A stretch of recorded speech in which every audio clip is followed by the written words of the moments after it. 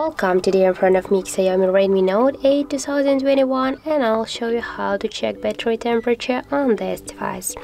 So first you should go to the settings application and then scroll down to the battery and performance section.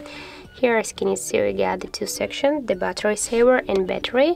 Just switch that to the battery and here you'll see the section with the temperature of our device that's 26 degree at the moment and also we got here the information about the charge times of today.